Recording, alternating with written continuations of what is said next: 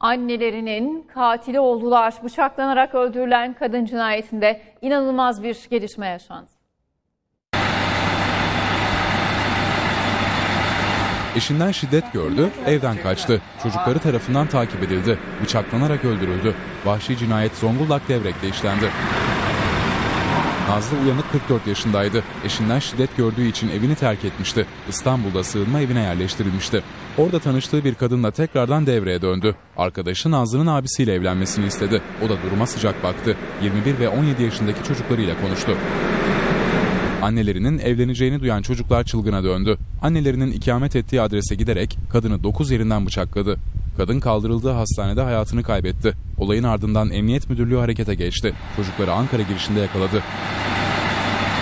Şüpheli kardeşlerden Sertanoğlu'nun polise verdiği ilk ifadesinde annesini öldürdüğünü itiraf ettiği, kardeşinin suçlu olmadığını söyledi.